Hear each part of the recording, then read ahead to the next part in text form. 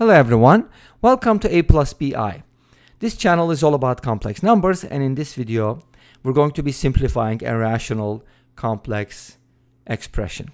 We have 1 plus i divided by 1 minus i and we're going to raise it to the power 400. Such a large number, right? Okay, great. I'll be presenting more than one method, probably at least two.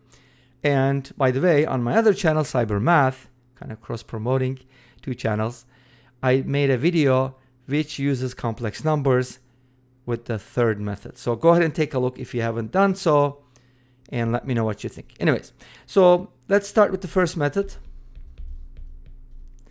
To solve this problem, I'm going to consider the numerator and denominator separately. So I'm going to raise this 1 plus i to the 400th power and 1 minus i to the 400th power.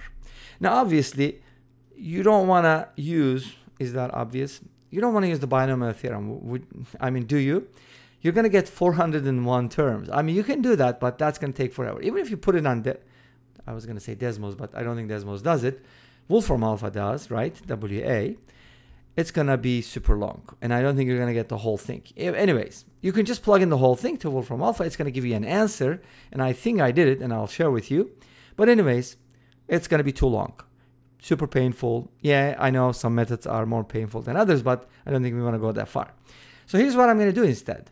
1 plus i and 1 minus r are, are special numbers because if you square 1 plus i, you get 1 plus 2i plus i squared.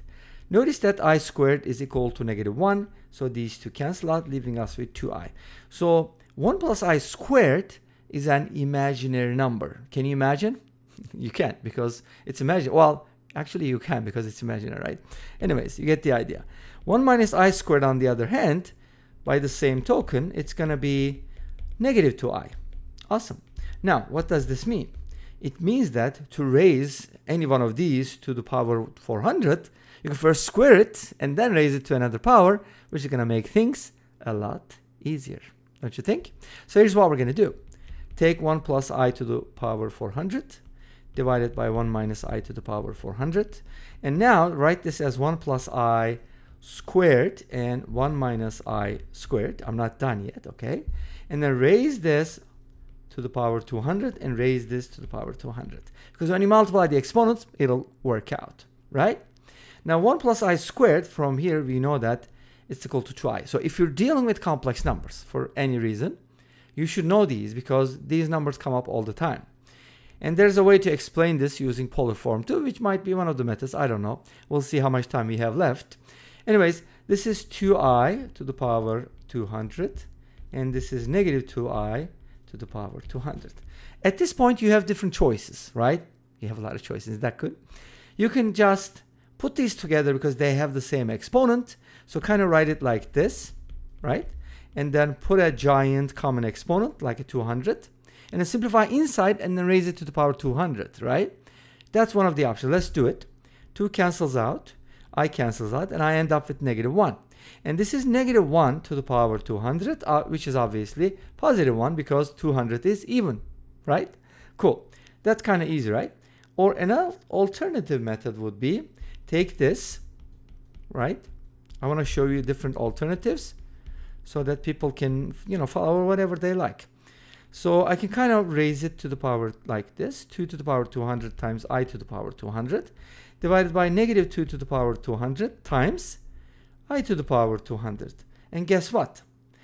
These two are the same because again 200 is even and these two are the same. Everything cancels out. We end up with 1. So depending on what you like, you know, uh, which is your favorite method, please let us know in the comment section obviously. And now, what are we going to do? Okay. Is this the first method still? Okay, great. This is the first method, so I can go either way, right? Obviously. Now, let's go ahead and take a look at the second method, all right? Because I think the second method you'll probably like uh, better, but I could be wrong.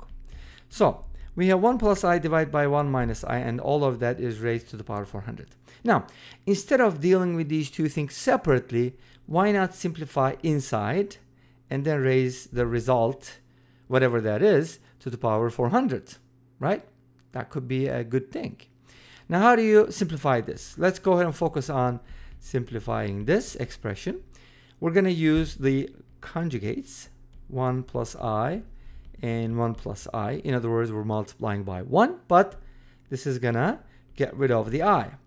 So in the numerator, we're going to get 1 plus i squared again. You've seen it, right?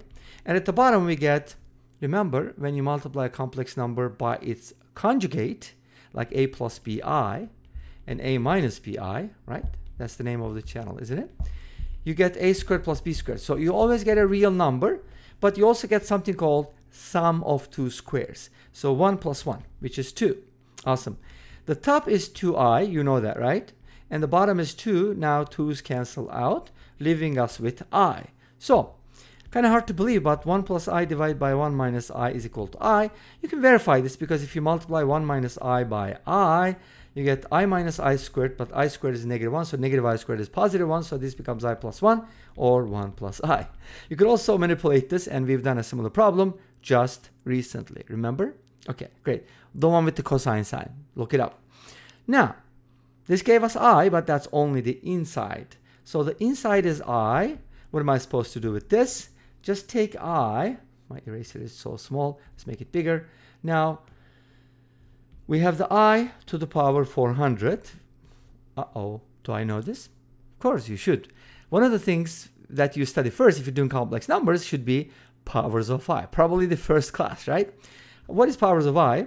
i to the first is i, right? It's like I have to think about it. i squared is negative 1. i to the third is negative i because it's i squared times i. And i to the fourth is i squared squared, which is 1. Great. So this is kind of mod 4. Any power of i that is divisible by 4 is going to give us 1 because of this reason, right? i to the fourth is 1, so the answer is 1. Again, second time, second approach, the, the solution or the answer is the same. Let's go ahead and quickly look at uh, the third method, shall we? Okay, real quick. All right. So we have this number and that number and being divided. Okay, so one thing I can do here is use the polar forms. This number can be written as root 2 times e to the power i times pi over 4.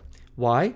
Because think about it, we've just done this, in, like remember I mentioned the video on my other channel, which used complex numbers because you were supposed to evaluate tangent pi over 8. So I gave you a little clue there, right? If you want to jump to the third method, that's fine too.